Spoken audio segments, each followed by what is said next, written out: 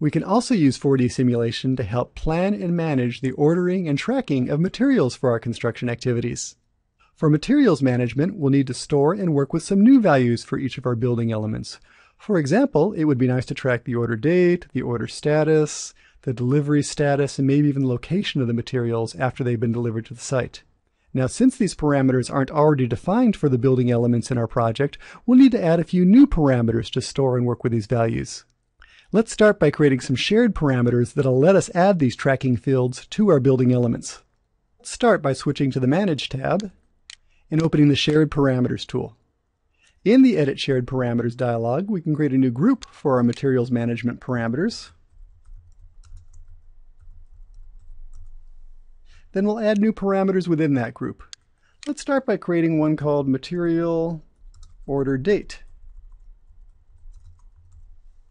I'll make that a text field. Say OK. We'll also create one for the material order status.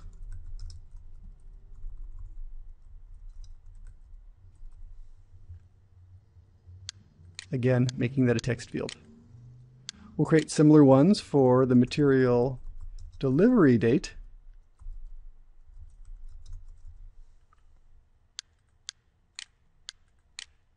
and the material delivery status.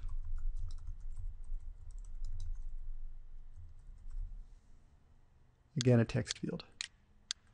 Finally, we'll create a parameter for the material location That'll be the location where the material is stored on site after it's delivered.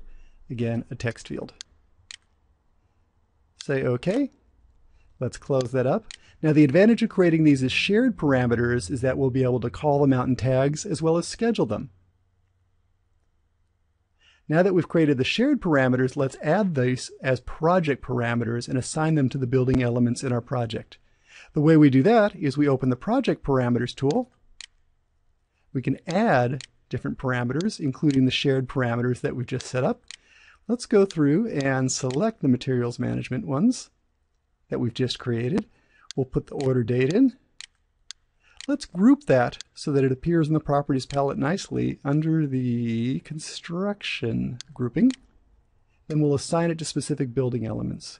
We could assign that to all the different elements in our project that we would want to track this information for, but let's for right now focus on the columns as well as the structural framing elements. We'll say OK, and that'll be added. Let's add another shared parameter. Again, selecting from the shared parameters that we've already defined. We'll go for the order status this time. Say OK. Again, grouping it under the construction grouping and assigning it to the structural columns and the structural framing elements. Continuing, we'll also select the delivery ones, delivery date, grouping it under construction, and assigning it to the specific elements, structural columns and structural framing. We'll go for the delivery status,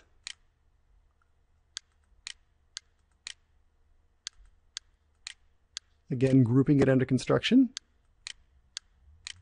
and assigning it to the structural columns and the structural framing elements.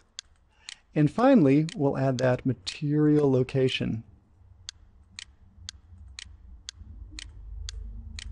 Also grouping it under the construction elements and assigning it to structural columns and structural framing. Say OK. Say OK. And now those parameters are going to be available on each of the different structural columns and structural framing elements in our building model. Let's switch to another view which will make it easy to select those structural framing elements. For example, if we go to this 3D structural view, we can select a specific structural element and you'll see those new parameters are available. The material order date and status, the delivery date and status, and the material location. Now we can enter a value for the selected structural element just by clicking in the field and typing in a value. For example, on the order side, let's say those are ordered, but on the delivery side, let's say that it is not delivered yet.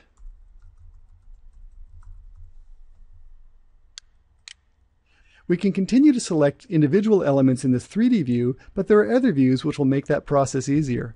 For example, if we switch to the ceiling plan, which shows all the structural columns, the beams, and the joist elements. We can select all of the different elements and filter that selection so that we get only the structural columns. Then we can indicate that all of those columns on the first floor have been ordered, but not delivered. To change the values for a subset of the columns on the floor, again we can select maybe just the columns in that corner, filter it,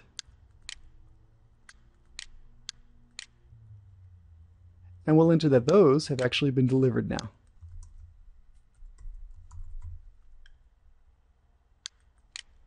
and they're being stored in staging area A.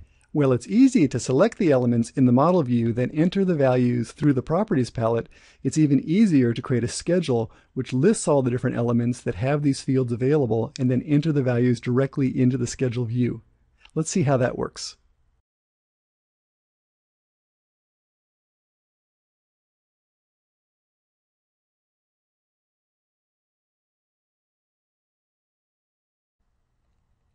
To create that schedule, let's switch to the View tab. We'll choose Schedules, and we'll choose a schedule of quantities. In this case, we'll create a schedule of the structural columns, say OK, and then we'll choose the values that we want to see in our schedule.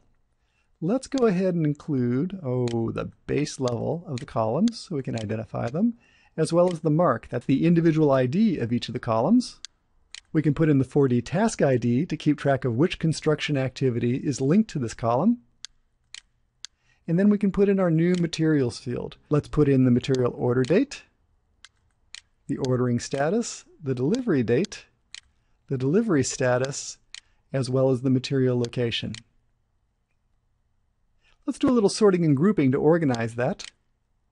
Let's sort it first by 4D task ID then by the order status, and finally by the mark of each individual column. We'll put a footer at the bottom of each of these groups, reporting the title and count, as well as putting a blank line to make the schedule a little bit easier to read. When we say OK, the schedule opens, and in this convenient grid view, we can review, enter, or track any of the values very quickly. For example, if the structural column 1A4 is delivered, we can change the value right here and enter where it's stored, maybe in staging area B.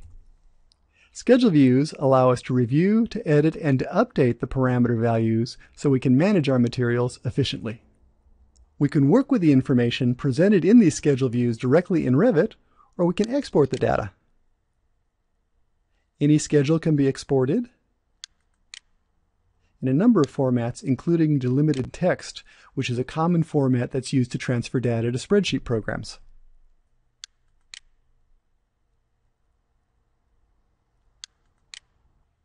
We can also link the values in these materials management parameters to database programs.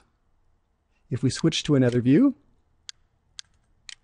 then switch to the Add-ins tab and choose the Revit DB link utility from the list of external tools. The special extension lets you link the information in your building model with common database formats such as MS Access and ODBC.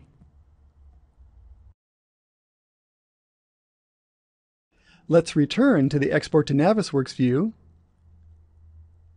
and we'll use the Navisworks File Exporter tool to transfer our updating building model, including the new materials management parameters, to Navisworks.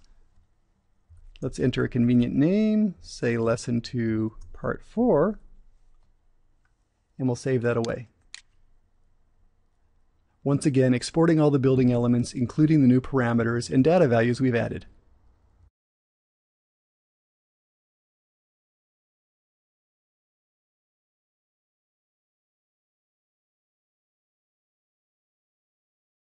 I've appended the updated NWC file containing our updated building model to the Navisworks project, and we can now explore the model to see that our new materials management parameters and the data values have transferred with it. If you switch to the Properties tab in the selection tree, you'll actually get a list of the different types of properties available for each of the different model elements. We can choose the element properties, and if we scroll down this list, you'll see that those material delivery status, material order status, any of the values that we filled in in the building model have transferred.